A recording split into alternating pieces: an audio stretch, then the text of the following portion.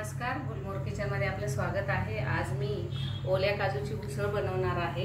तर हे पाहू शकता तुम्ही अशा प्रकारे आपल्याला ही उसळ बनवायची आहे. तर चला लागू लागू तयारीला.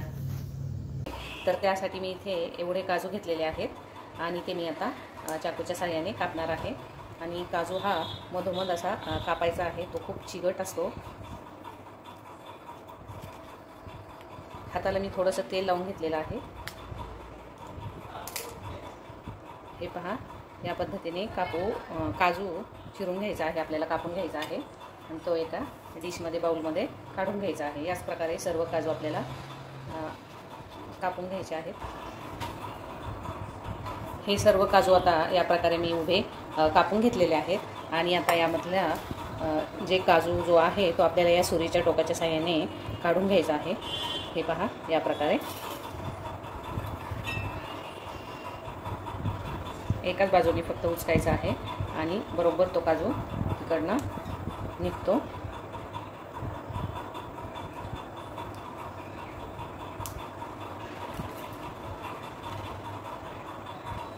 इथे हे काजू आपले सोलून झालेले आहेत व यानंतर आपल्याला हे काजू जरा चिगट असतात म्हणून ते कॉटनच्या कपड्याने आपल्याला पुसून घ्यायचे आहे म्हणजे त्याचा चिकटपणा जरा थोडासा कमी होईल.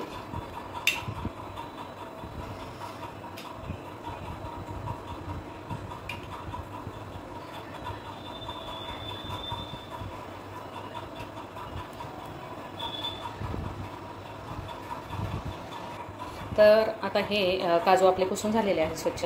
आणि याच्यावरती जे साल असतं ते आपल्याला आता काढून घ्यायचं आहे.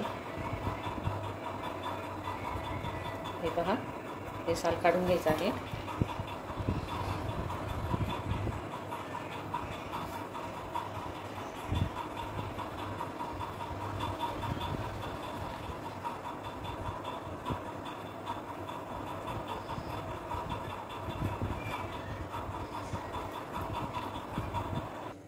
तर आता या काजूंमध्ये उकळलेलं आपल्याला पाणी घालायचं आहे. एकदम कडकडीत पाणी घालायचं आहे. आता हे आपल्याला साईडला ठेवू दे ठेवून द्यायचं आहे आणि मसाला करण्यासाठी सुरुवात करूया.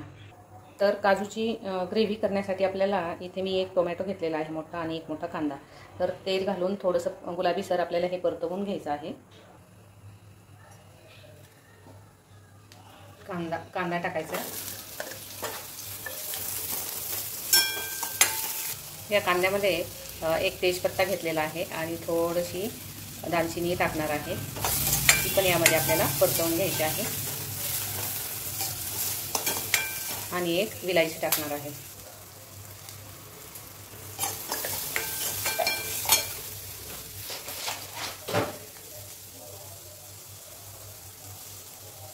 तर कांदा हा आपला गुलाबी झालेला आहे आणि आता यामध्ये आपल्याला टमाटो टाकायचा आहे.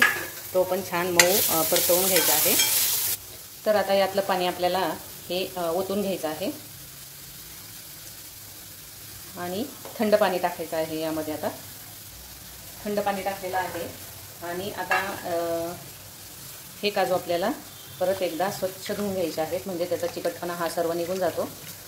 आणि त्याचे जर साल राहिलेले असतील तर ते गरम पाण्याने आपोआप निघून जातात. हे पहा हे पाहू शकता तुम्ही.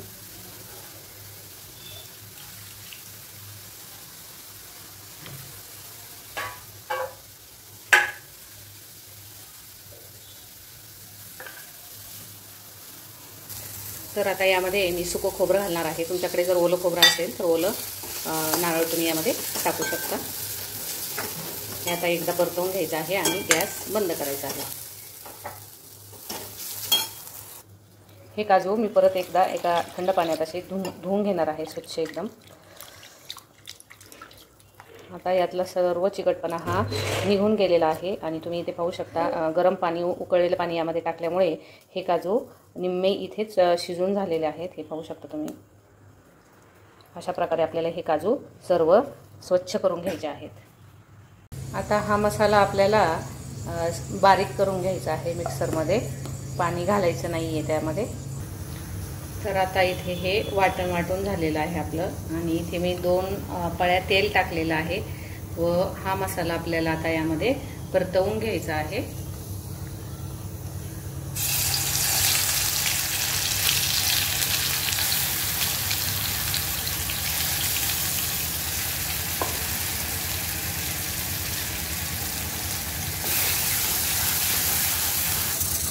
तर आता आपल्याला यामध्ये हळद घालायची आहे. लाल तिखट एक चमचा. घरी केलेला मसाला आहे. तो एक अर्धा चमचा. आणि गरम मसाला उगीच थोडासा घालायचा आहे. आणि तेल सुटेपर्यंत आता आपल्याला हे परतवून घ्यायचं आहे. तर आता यामध्ये आपण थोडंसं पाणी घालून घेऊया. व हा ही ग्रेव्ही हलवून घेऊया. व तुम्हाला जेवढी घट्ट हवी असेल तेवढं तुम्ही पाणी कमी घालू शकता. किंवा जर थोडीशी पातळ करायची असेल तर पाणी थोडं जास्त घाला. तर आता यामध्ये आपण हे काजू वरून घालायचे आहेत. व पाच ते दहा मिनिट आपल्याला हे काजू शिजवून घ्यायचे आहेत या ग्रेव्हीमध्ये इथे आपली काजूची उसळ ही तयार झालेली आहे ओल्या काजूची उसळ. तर इथे वरून आपण कोथिंबीर टाकूयात. हे पहा किती छान झाली आहे ही काजूची उसळ. जर तुम्हाला ही रेसिपी आवडली असेल तर सबस्क्राईब लाईक आणि कमेंट शेअर करायला विसरू नका.